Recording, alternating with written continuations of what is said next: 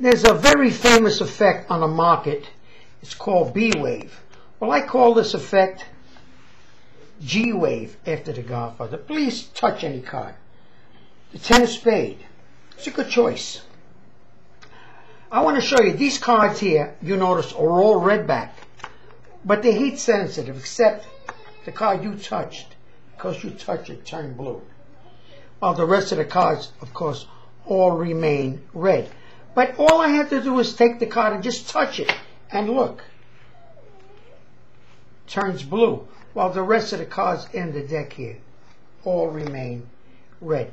These cards even print. For example, all I have to do is just touch.